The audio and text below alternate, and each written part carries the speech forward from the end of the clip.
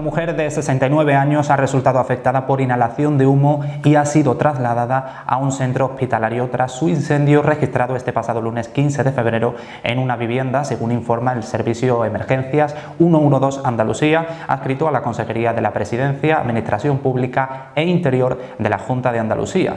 El 112 recibió el aviso de varios testigos a las 9 y 20 horas de la mañana que informaban de un incendio en una casa de la calle Los Molinos. Inmediatamente el centro coordinador movilizó a los bomberos de Palma del Río, a la policía local y a la Guardia Civil, así como a la empresa pública de emergencias sanitarias EPES